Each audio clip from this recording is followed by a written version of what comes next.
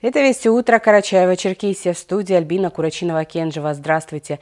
Традиционно начинаем выпуск с прогноза погоды.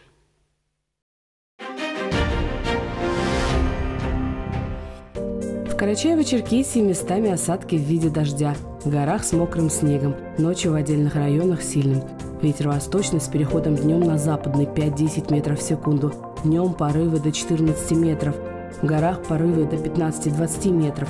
Температура воздуха ночью плюс 1 плюс 6, в горах минус 4 плюс 1, днем до плюс 10 и местами 0 плюс 5 градусов. В Черкеске временами дождь. Ветер восточный с переходом днем на западный 5-10 метров в секунду. Днем порывы до 14 метров. Температура воздуха ночью плюс 3 плюс 5, днем плюс 8 плюс 10 градусов.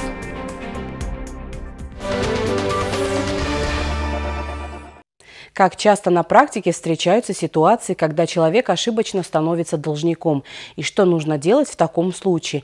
На эти и другие вопросы в эти минуты в нашей студии моей соведущей Белли Джазаевой ответит инспектор отдела организации исполнительного производства, исполнительного розыска, реализации имущества должников УФССП ПКЧР Зумрат Шайлиева. Доброе утро всем. Доброе утро, Зумрат. Доброе утро. Я благодарю вас за то, что вы нашли время, пришли сегодня к нам в гости. У нас такая серьезная тема сегодня, что касается должников. Скажите, как часто человек ошибочно становится должником в вашей системе? А в настоящее время количество поступивших обращений в Федеральную службу судебных приставов, ошибочно идентифицированных, а, уменьшилось на 90%. А, положительная тенденция стала возможной благодаря федеральному закону от 21.12.2021 года номер 417 о изменений в отдельные законодательные акты Российской Федерации, который вступил в законную силу 20 июня 2022 года. А, указанный закон решил э, проблему однозначной идентификации должников в рамках исполнительного производства. Указанный закон э, решил проблему однозначной идентификации должников э, в рамках исполнительного производства в соответствии с законом, указанным в исполнительном документе, в исковом заявлении, в судебном приказе, в исполнительных документах указывается один из дополнительных идентификаторов СНИЛС, ИНН, ОГРН, серия и номер э, документа, удостоверяющего личность, серия и номер водительского удостоверения. То есть можно сказать, что проблема полностью решена?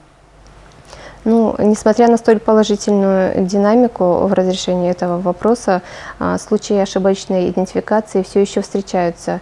Это связано с тем, что в исполнении имеются исполнительные производства, возбужденные на основании исполнительных документов, которые были возбуждены до вступления в законную силу данного закона.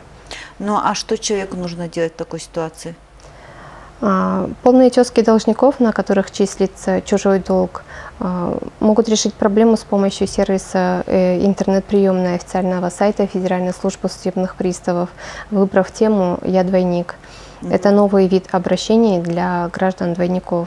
Угу. Физическим лицам необходимо заполнить форму электронного обращения в сервисе интернет-приемная на рассмотрение обращения, идентификацию гражданина, устранения нарушений, и ответ отводится два дня. А обращение в день его поступления передается э, руководителю территориального органа э, для организации рассмотрения. А рассмотрение данного обращения проводится аппаратом управления территориального органа.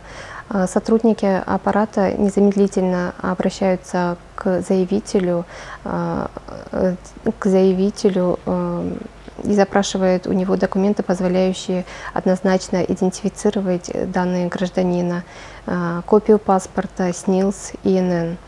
А после получения документов, подтверждающих э, ошибочную идентификацию гражданина как должника по исполнительному производству, судебный пристав, исполнитель, ведущий данное исполнительное производство, незамедлительно снимает э, все ограничения, э, ранее наложенные на гражданина.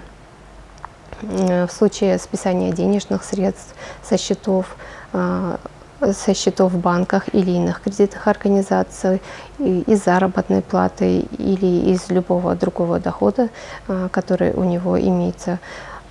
Судебный пристав-исполнитель принимает меры к возврату данных удержанных денежных средств. Ну что ж, я благодарю вас за такую нужную информацию, потому что очень многие люди действительно страдают от этой проблемы. И желаю вам успехов в работе. Спасибо, Спасибо всего вам. хорошего, всего доброго, до свидания.